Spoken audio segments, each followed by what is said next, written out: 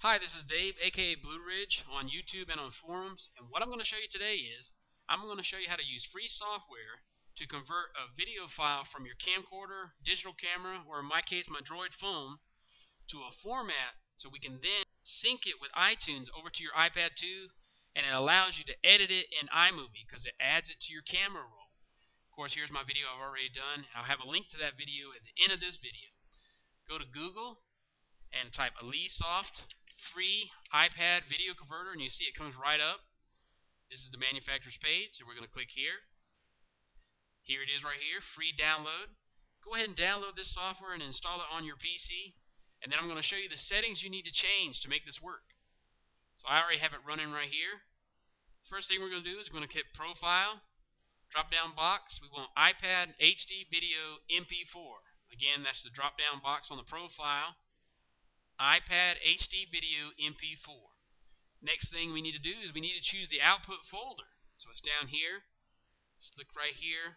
Now what I did is I went ahead and made a new folder in my My Pictures folder called iPad Videos.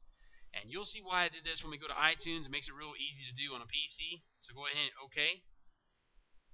Next thing we need to do is we need to add the video we need to convert. So we're going to click right here where it says New Task and then it's going to give add folder or files. I'm going to select this video and I've already named it GarageBand and this is the video I took of GarageBand locking up on my droid.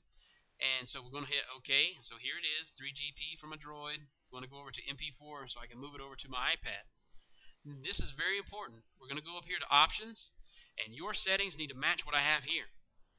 Go to the audio tab by default and the first thing audio channel. It needs to be double channel and the audio needs to be AAC.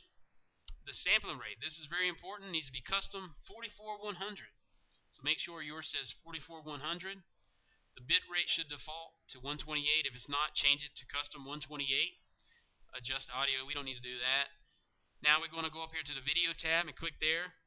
Your video codec needs to be H.264. If it's not, you need to select it. So we're looking for H.264. Here it is. Your frame rate should default to 30. If it doesn't, go ahead and change that. This is very important. Your bit rate. Make sure you select custom 2500. Again, the bit rate needs to be changed to custom 2500.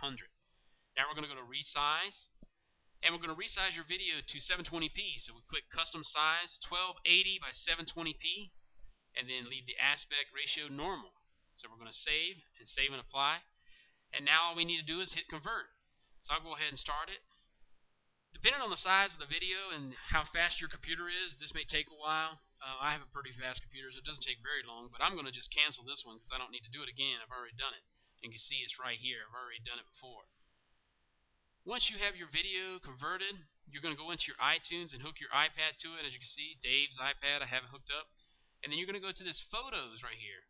This is where it comes in very important, and this is why I put it in my pictures, because by default, Windows, all pictures go to my pictures anyway unless you change it. This is what you want to do. Include videos. So make sure you select that. And here's my folder, iPad videos. I want to select that. And then you want to hit apply. Now what that's going to do is it's going to sync that folder to your iPad.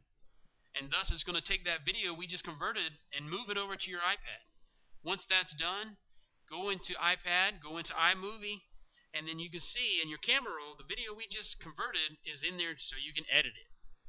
Now of course I've already done that and this is the video right here. Now this video I converted with the same software and I've already uploaded it uh, to YouTube. I edited it in iMovie.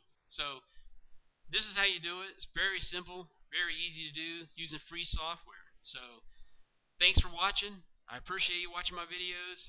If you have any questions or comments, please leave them below. Please subscribe to my videos because I'm going to continue to make iPad 2 videos. And so I'm making all these different videos. I've got videos showing your video examples from the rear facing camera in 720p. And those are straight from my iPad 2. So again, thanks for watching. I really appreciate it.